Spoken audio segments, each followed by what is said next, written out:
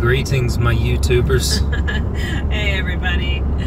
We are on the way to Wallowa Lake. It is near the town we're in now. It's actually on the same part of the same stretch of road we took when we drove the scenic byway. We didn't have time to stop that day. Yeah, so if you remember from our scenic byway video we put out last, we stopped in the town of Enterprise and showed you the courthouse. Well, actually now camping at Enterprise at an RV park there. But today we are driving just a little past the town of Joseph, which is just down the road, to go to Wallowa Lake and, and check all that out. It's very hazy today, so our views will be partially obstructed by smoke.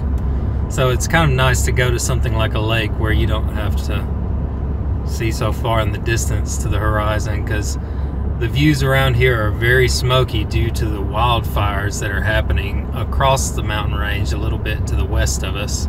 Yeah, sadly, the West Coast is really on fire right now. There are large fires in California and in Oregon. And uh, for us directly, we're impacted by all the smoke haze that's here. It seems to be following us, and unfortunately, it seems to be getting worse as well.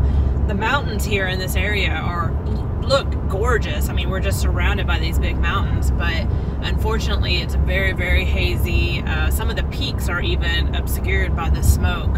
Um, so that's unfortunate. Hopefully, those fires can get under control soon, uh, so that everyone impacted is uh, doing doing better because that's pretty scary stuff. But as Jess said, we're gonna head up to Wallowa Lake, where we can get right up to the lake and not have any sort of obstructed view or anything like that, and and see what that's like, and maybe Abby can chomp another lake.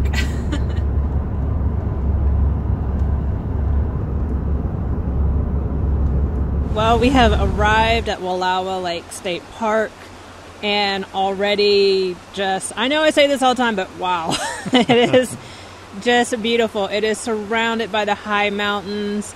There's pine trees up all on the mountains.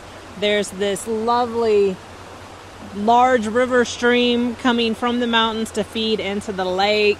And already, like Abby's still in the truck. She's she's not out yet, and I know she is going to love this. Distance vision is a little bit obscured, like of the mountains and things around us, with the smoke. But you can't really smell the smoke or anything, so it's not really affecting our enjoyment of the park here, which is nice. Yeah, it's not too bad. You know, you can still see. It's just like there's a haze over the mountains because we're closer now, it's not as bad as when we're trying to view them from really far off, but there is a little bit, but it definitely is not robbing us of enjoying this absolutely stunning spot. And, and this is just the first spot we stopped at, so who knows what else we'll find out here.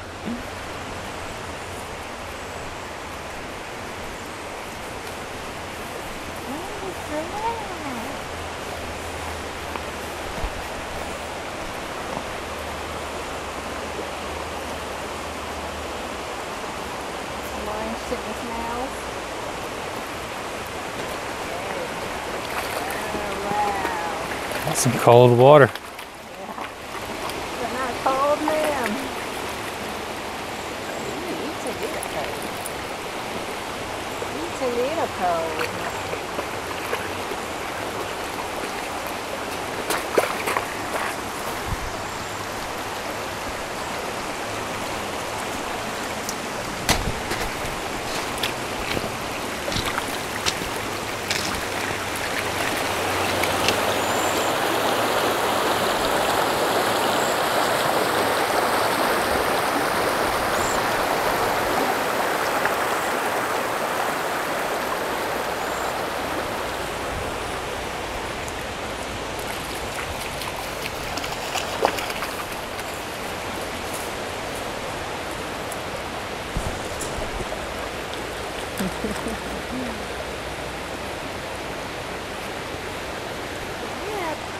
People.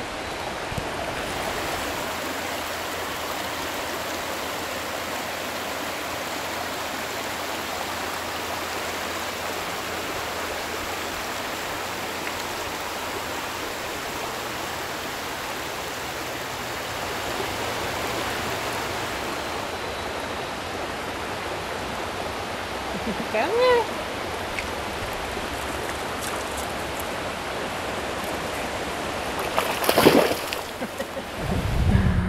We're at the lake, the Wallowa Lake. You can see over my shoulder there's some other people here enjoying it also. Give you a little view over there. Yeah, it's a large lake. There's um, not very many motorized boats out there. I think I saw one or two, but there are several people playing here at the beach. We see some paddle boarders, some kayakers out there, but it's really gorgeous. It's funny because this lake is sort of nestled in this little nook of the mountains. So looking that way, it's like back towards the road, back towards town. But the way we're facing and when you drive in, it's just like the lake with this U of mountains around it. And it's just insanely beautiful. Um, all the little streams are, you know, snow melt coming off the mountains, feeding into the lake. So it's very, very cool. It's easy to get. It's easy to get down here. It's all paved. Really There's easy. big paved parking lots up here. There's bathrooms. This is a big, big state park. Pretty good sized one. There's an RV campground here, but we couldn't get in it because we didn't have reservations, so we stayed at the one we're at now. Yeah, the state parks, just a tip for anyone wanting to come out here, the state parks book up well, well, well in advance. I mean, pretty much everywhere, even in Colorado, we looked around and uh, you have to book well in advance for a state park stay unless you're willing to dry camp. Some of the state parks do have dry camping spots that are first come, first serve, and depending on how popular the area is, you might be able to get one of those. But any sort of hookup at a state park, you got to book those pretty well in advance, especially Yeah. up here in the Pacific Northwest. Yeah, if there's one you really want to stay at, make sure you book it in advance and route your travels to be there at the right time. Yeah, the good news is though that there's usually always tons of parks outside of the state parks you can stay at, like we've done today. And we just drove in and we're able to come out here and hang out and, you know, vacation if we wanted to. We're kind of sightseeing mm-hmm. right now, but certainly you could come down here and hang out on on the beach of the lake and just really enjoy this area. Hey guys, well, we left Wallowa Lake area and that state park and headed south or north, West. West. To Lostine. whatever direction. yeah. We headed to Lostine and then turned off a road and headed up into the Wallowa Forest up here. Yeah. This is Uh, straight south of Lostine, Oregon. Took a dirt road. I love dirt roads and I cannot lie because they lead to beautiful spots like this a lot of times.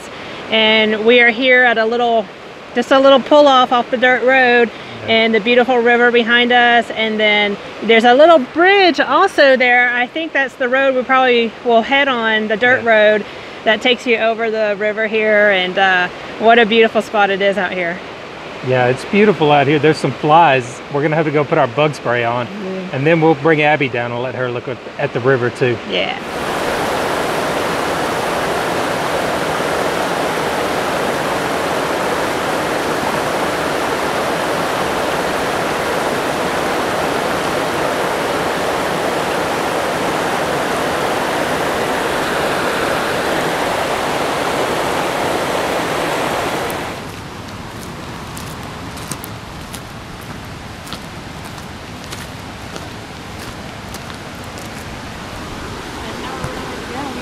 No overnight camping, fire restrictions.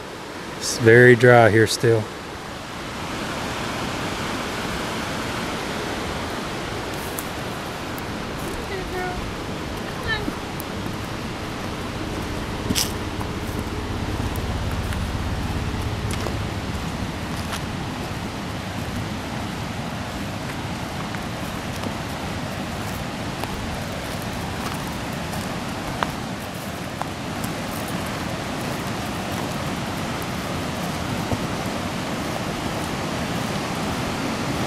Wow, look at that.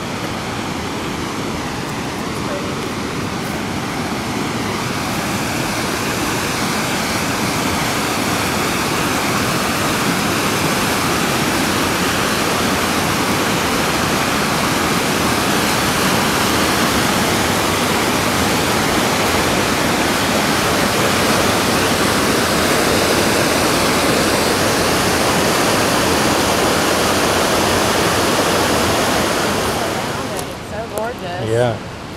We're right in the middle of this valley, right between these mountains. We have our adventure gear on because we're going to go on a trail here and see if we can make it out to a lake. It's uh, it's going to be sketchy depending on the difficulty of the trail as to whether we make it before it gets close to dark or not, and we don't want to be out here after dark. Yeah, we got out here a little bit late. It's 4:30 already in the afternoon, so we're gonna just start hiking out on this trail, see how far we get. Uh, if it starts getting dark or you know maybe we get tired, I don't know. We'll turn around, but we'll see how far we can go and have a nice little hike through the woods here. Yeah, we have our bear sprayed, and Yes, we're ready in case spray. something comes up. We got- Mom, we, have bear spray. and we got the uh, the little wild animal with us too, so maybe she will scare some things off. yes, we have the wild Abby with us, so maybe she can tromp around and alert all the wildlife that we're here Even if we don't make it to the lake, we'll get some beautiful views on the way. for sure.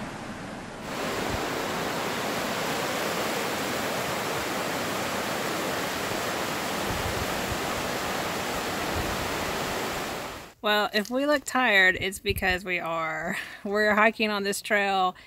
It's been all uphill from the start. And Yeah, we're a little out of shape. we're way out. This is beyond our fitness level. Yes. It's not a bad trail. It's just very steep, and uh, we hit the first major switchback, and we see a big stretch of more Yeah. going straight uphill. So Yeah, it's a lot. we're not ready for this yet. No, we're we're a little out of shape, which we knew, and that was one of the things with this lifestyle. We're looking forward to doing more hiking and getting in better shape. So we'll have to ease into it. we're easing into it. We haven't quite gone a mile. I think we've gone a little over half a mile or so of all Yeah. uphill, and uh, I think that's going to about be as far as we go. We'll start heading back. We also saw bear poop. Yes, we saw bear poop. We have our bear spray, but that's also a little out of our comfort zone, I guess. Yeah, we're we're we're trying to talk and everything because they say to talk to let wildlife know you're nearby so that they'll hopefully leave you alone. Um, but yeah, it's it's beautiful out here. and It's all shaded, Yeah. which is really nice, and the trail is good. It's just this is probably a moderate rated trail, I would guess, and we're beginners. Well, also, this trail for us would be an all day hike Yeah, just to get to the lake and back. And uh, Yeah. we started kind of late, so we'd be in the dark coming back, which wouldn't Yeah. be safe at all. the lake is five miles out, so It's actually a straight line about eight tenths of a mile, but it's five miles on the trail switch because Yeah. there's such switchbacks and elevation change yeah. that you're going back and forth, wandering back and forth. So it's it's cool. It's been it's fun out here. So we're gonna hike a little bit more, but probably gonna wrap it up and uh, try again another day. Yeah. All right. Well, we have wrapped up our time in the Wallowa Whitman National Forest. That was the Eagle Cap. Is that what you said? Yeah, the Eagle Cap Wilderness area. Eagle Cap Wilderness area. It was awesome up there. Uh, there's a lot of trails. There are some small campgrounds. Uh, nothing big is going to fit up there, but um, maybe very tiny trailer. We saw some little pop-up campers going in there, um, and, and definitely tent camping and vehicle camping uh, would work in there. But cool we did place. we did see one class A in there. I don't know how they got it in there or how easy it, it came in or out. We saw one class A. Do you remember that? No, uh-uh. Yeah, it was on the right. I guess I should watch the road. Please watch the. uh, it was on the right were going in in one of the little camp areas, but it it's probably the only spot in there you could fit one, and it would have been a challenge probably getting it in there. Yeah, I would not recommend taking anything more than a small travel trailer or something up there. But um, definitely for a day trip, awesome place. When you, it's several miles in, but you eventually get to a nice parking lot and day use area for where all the trail, well, one of the big trailheads is at, which is what we took. Um, so super nice. It's a gravel road going in, but it's pretty, pretty nice. It's wide. Yeah, it's it's pretty wide and um, pretty well maintained. We there weren't a ton of people out there, but there definitely were people out there. I think we probably saw about a dozen cars in all. At the at the trailhead we parked at, there were about eight or nine cars probably parked there. Yeah, so you can actually park at the trailhead and you pay for how many days you leave your car there.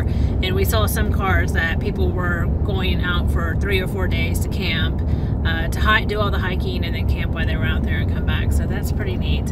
Um, but we had fun. We learned a little bit about our fitness level. Yeah, we had a reality check on our fitness level. we had a serious reality check. But I mean, like we were under any uh, illusions that we are in very good shape, and that's one of the things that we're hoping to continue working on. Why we're doing this RV lifestyle, be more active, and get into better shape. Abby had a blast. She had a very good time on the trail. She got to splash in a lot of water today, so I think we checked all her boxes for a good day, and uh, we checked all of our boxes, I think, for a good day too. It was a lot of fun. So, you guys have a good one. Thank you for watching. If you enjoy our videos, please consider hitting that subscribe button for us because it helps us out a lot. Um, and if you have any questions or comments, please feel free to leave those as well. We are nearing triple digits on subscribers. we're, we're getting close. Yeah, we're getting yeah. close. Maybe we'll have a little celebration if we get 100 subscribers. we'll see. Anyways, you guys have a good one, and we'll see you next time. Thanks for watching.